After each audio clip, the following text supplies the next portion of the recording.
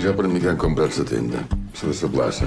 No s'ho estan llevant tot. Els estrangers paguen bé. Bé de saber que te'n donarien d'aquesta casa. Aquí no vive nadie.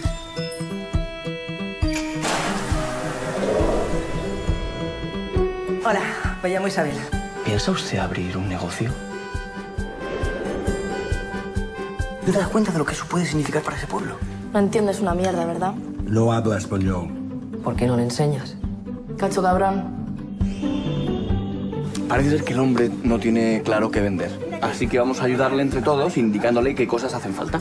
¿Tú por qué coño siempre estás aquí? Arreglo cosas. Cacho, cabrón.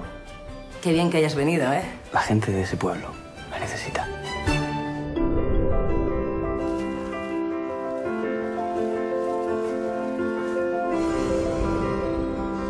¿Por qué coño tiene tantas fotos? Si son todas iguales.